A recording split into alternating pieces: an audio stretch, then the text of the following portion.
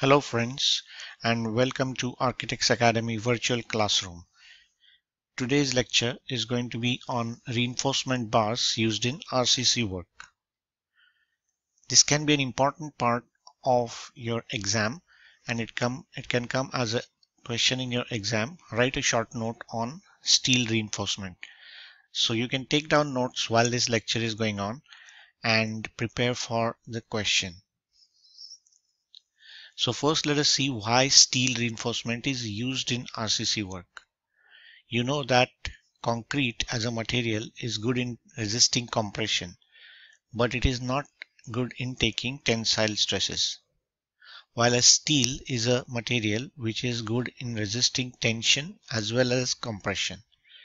Therefore, when we combine both the two materials together, we get a material which is much more versatile, which we call as RCC. So when we combine concrete and steel together, we get RCC. This is a composite material which becomes good in taking compressive as well as tensile stresses.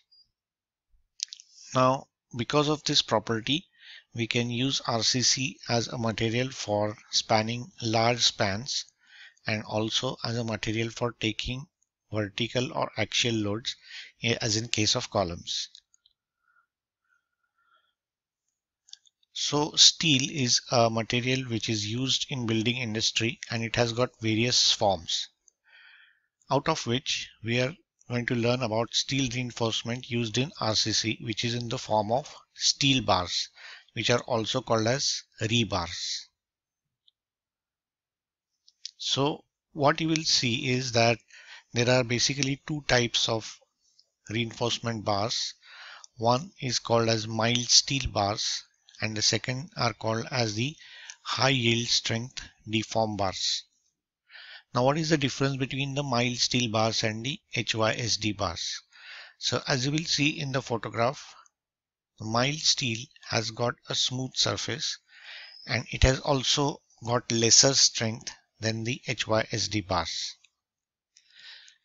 Mild steel was used earlier before the development of the HYSD bar as a common material in RCC.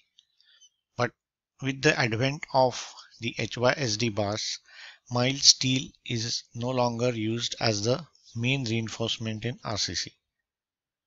On the other hand, in the next photograph, you will see what are called as the HYSD bars. As you can see, the surface of these bars has purposefully been made rough by making ribs on the surface. So this particular type of bar has got this type of a ribbed surface and also the strength of these HYSD bars is much more than the mild steel bars.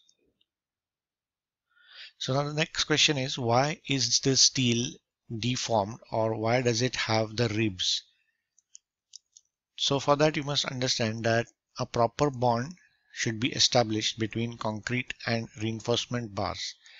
If there is this proper bond is not there, then the stresses will not be transferred from the steel to the concrete and vice versa. So due to the bond, the stresses get transferred from one material to other. If concrete does not properly grip the steel, the steel bars will slip in the concrete. So this is why you will see that uh, the ribs are added as in case of the HYSD type of bars.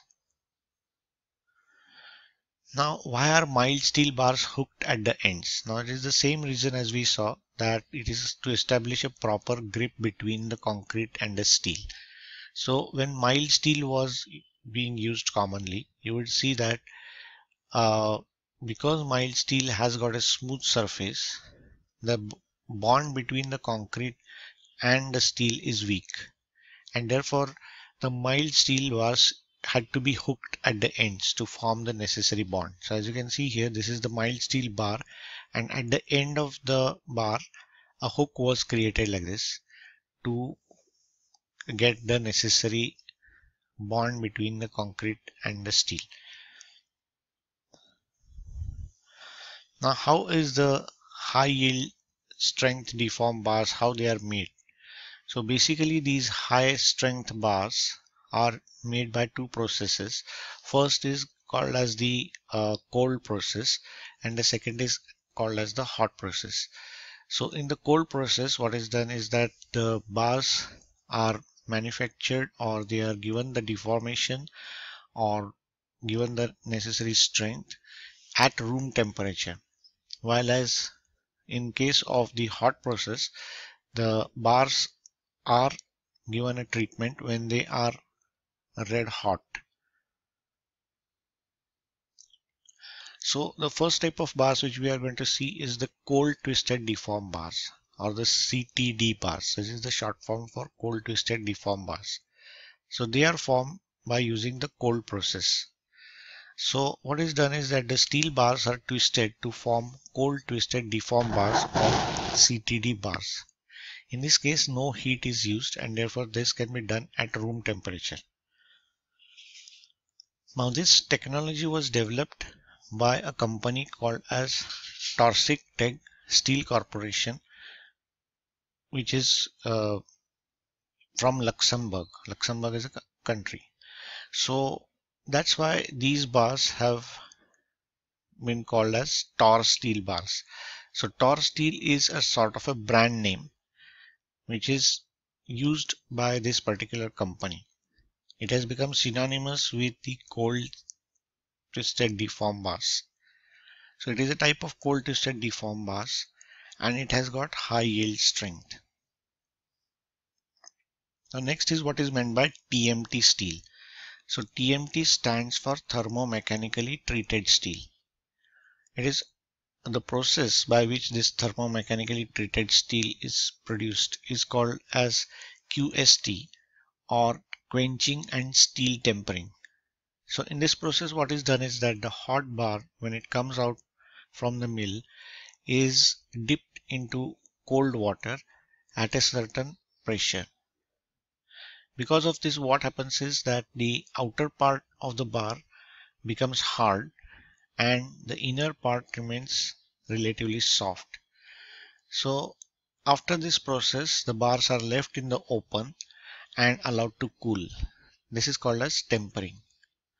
So the outer part of the bar is hard and the inner part is soft and this is the speciality of the TMT steel which gives it certain better properties than the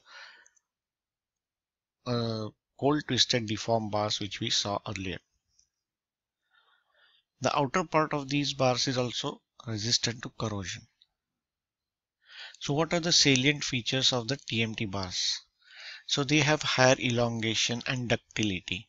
The concept of ductility eh, means that the bars can be bent easily and after they are bent they do not lose their strength or they do not crack. So this is called as ductility very important property of a material. They are more safe against earthquakes again because of the same reasons that they are ductile and they have got uh, fatigue strength. We call them as a fatigue strength the next is ribbed design which gives better bond with the concrete. And then last is that these bars or TMT bars are stronger than the regular bars and therefore we'll see that they have got 20% additional strength than ordinary bars and hence can be used for uh, meaning the structural engineers can actually save in steel by the use of TMT bars. The Indian Standards Organization defines the grades of rebars as follows. So it is defined in IS 1786 of 2008 and the bars are defined as grades from FE 415 to FE 600. The number 415 gives the yield stress, maximum yield stress of the steel bars. Similarly, any number next to Fe that is written here gives the maximum yield stress of the steel bar. So let us now see what is meant by yield strength. So yield strength means it is the amount of stress applied to a material that will deform it permanently. So the same is true with steel that the steel when it is subjected to stress it will deform but when the stress is released it will come back to its original shape. Now there will be a point where beyond the point if we apply more stress the steel will permanently deform that means it will not come back to its original shape. This point or the amount of stress that is applied will be called as the yield strength of the steel. So the yield strength is measured in newtons per square millimeter or in megapascals. Now to give you a comparison of what is the yield strength of different grades of steel, you can see that mild steel has got a yield strength of 250 newtons per square millimeter, while at the HYHD bars which we saw have yield strengths ranging from 415 to 600 newtons per square millimeter.